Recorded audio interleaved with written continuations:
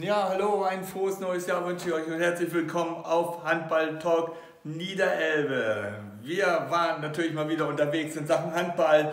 Zwischen den Feiertagen wird unter anderem immer gespielt in der Frauen-Bundesliga.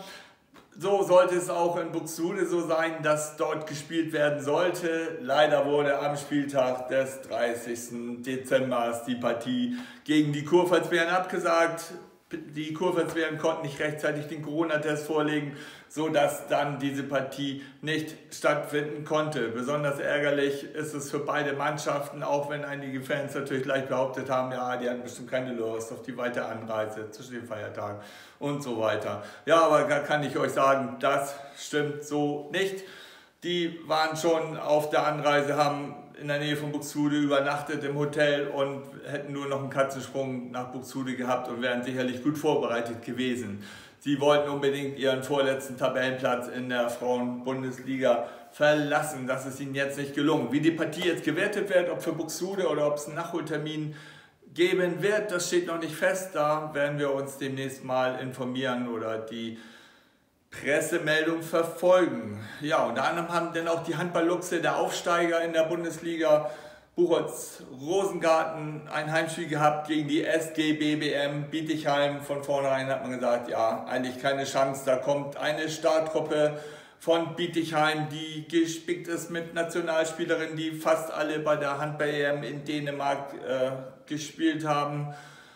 Aber auch Buchholz kommt immer besser in die Spiele rein, hat mit einer überragenden Torhüterin, mit der Nummer 1 Mareike Vogel, einen Wahnsinnsrückraum mit Nathalie Axmann, mit Luis Kronstedt, mit Sarah Lamm, die mega viel Erfahrung hat, mit Fatush Kukuyildis, die vor der Saison gekommen ist, mit Lisa Boruta, die jetzt wieder zurückgekommen ist, die lange verletzt war, mit Kim Berndt, die auch über mega viel Erfahrung verfügt, mit Marlene Kahnbach, die ausgebildet wurde bei Alzertal und dann über Henschel Ulzburg irgendwann in Buchholz gelandet ist und auch immer besser äh, für ihr Team die Akzente setzen kann. Und nicht zu vergessen Jessica Oldenburg, die vor kurzem zum Team gestoßen ist, die lange Zeit in Buxtehude gespielt hat, ehemalige Nationalspielerin. Nach der Babypause kommt auch immer besser ins Spiel. Ja, so wurde die Partie angepfiffen. Die Luchse ging schnell mit 2 zu 0 und 6 zu 3 und 8 zu 5 in Führung. Und die Fans rieben sich verwundert die Augen. Ähm, mega erfolgreich in dieses Spiel gestartet. Eben zum Ende der ersten Halbzeit kam ein kleiner Einbruch. Man konnte aber immer noch ein, ein Tore Rückstand, ein 16 zu 17 zur Halbzeit retten. Das ist schon mal ein mega Erfolg. Und jetzt hoffen die Fans natürlich an den Bildschirmen zu Hause, dass die Luchse so weitermachen. Leider Gottes gab es in der zweiten Halbzeit dann doch so einen kleinen Einbruch. Es musste natürlich viel durchgewechselt werden. Wenn du gegen so eine gute Mannschaft wie Bittigheim spielst, gegen so erfahrene Spielerinnen, dann brauchst du immer wieder frisches Personal. Aber so kam es dann, dass die Abschlussschwäche doch des, der Buchholzerin deutlich, deutlich wurde und äh, ja, viele Chancen wirklich vergeben wurden. Das war besonders schade, weil ähm, da wäre echt mehr drin gewesen. Die Bietigheimer haben auch nicht ihren besten Tag erwischt. So dass äh, am Ende stand es dann 23 zu 30, aber trotzdem Respekt und äh, der sag mal, der Verein, der wird sicherlich in der Bundesliga bleiben. Das hoffen wir alle und das wünschen wir uns auch alle. Das nächste Spiel, äh, das nächste Heimspiel für die Luchse ist übrigens der 16.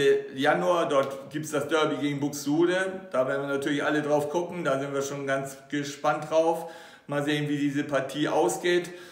Ja, und äh, Bietigheim ist doch der nächste Auswärtsgegner von Buxtehude. Sie spielen jetzt am Sonntag, den 3. Januar dort. Ähm, da sind wir mal gespannt. Also ist durchaus möglich, auch wenn das echt ein Star-Ensemble ist, ähm, auf jeder Position doppelt gut besetzt. Man muss mal sehen, wie diese Partie laufen wird. Ja, und dann gab es noch einige Spiele, unter anderem Leverkusen bezwang frisch auf Göppingen ähm, der letzte Auswärtsgegner übrigens die Göppinger von Buxtehude. Dort wurden die ersten Auswärtspunkte für Buxtehude geholt. Und äh, diese Partie konnte live bei Eurosport verfolgt werden. Buxtehude hat äh, die Partie klar gewonnen und in der Spitze waren sage und schreibe 109.000 Zuschauer dabei. Das ist echt sagenhaft. Das hat die Frauenbundesliga, glaube ich, so noch nicht erlebt. Ähm, ja, also wie gesagt, Leverkusen hat Göppingen mit 24 zu 19 besiegt. Halle Neustadt, der Überraschungsaufsteiger, der schon überraschend starke Spiele gemacht hat, ein 23 zu 23 gegen Blomberg-Lippe, die ebenfalls oben in der Bundesliga stehen, ähm, auf einem Spitzenplatz. Ähm, Oldenburg, die mit 32 zu 23 die, den FSV Mainz besiegen konnten. Ja, eine Partie fiel noch aus, Neckarsulm gegen den THC, ebenfalls Corona-bedingt diese Spielabsage. Ja, in der Bundesliga-Tabelle führt Bietigheim mit 19 zu 3 Punkten. Zwei Spiele weniger gespielt hat der BVB aus Dortmund. Die haben 18 zu 0 Punkte. Ja, siebter Buxtehude zurzeit, zwölfter Oldenburg. Die Luchse sind 13. haben aber noch drei Mannschaften zurzeit hinter sich. Ich bin mir ganz sicher, sie werden da unten rauskommen. Gerade mit der Leistung auch in der ersten Halbzeit in dem Spiel vom 30. Ja, was gibt es noch zu sagen? In der zweiten Männer-Bundesliga ähm, steht der Handballsportverein Hamburg auf Platz 1. Es wurde gespielt gegen Rimper und mit 26 zu 24 gewonnen. Ähm, direkt dahinter nach Minuspunkten einen Tick besser der VfL Gummersbach, die ja wieder großes Vorhaben unbedingt in die Bundesliga zurück wollen. Ob der, die Hamburger das wollen, das wird man sehen. Dazu werden sie sicherlich nicht äußern, aber schon ein Riesenerfolg mit der jungen Truppe.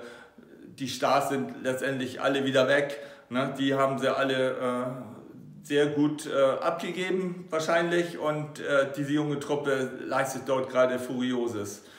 Ja, was gibt es noch zu sagen? In der zweiten Bundesliga der Frauen führt ähm, ein Verein aus Berlin, die 14 nämlich mit 19 zu 1 Punkten. Da bin ich mir ganz sicher, dass wir die nächste Saison in der Frauenbundesliga wiedersehen werden. Immer ein interessanter Name für alle Spiele. Ja, das soll es soweit gewesen sein. Ich wünsche euch, wie ich eben schon sagte, ein interessantes und hoffentlich gesundes 2021. Bleibt uns bitte gewogen. Wenn ihr Lust habt, abonniert den Kanal auf YouTube oder verfolgt uns auf Facebook oder Instagram. Da würden wir uns natürlich sehr drüber freuen. Ja, und wir hoffen natürlich, dass wir demnächst auch mal wieder einen Interviewpartner haben. Aber wie gesagt, da halten wir uns ein bisschen zurück im Moment. Ansonsten bis bald. Danke, dass ihr dabei wart.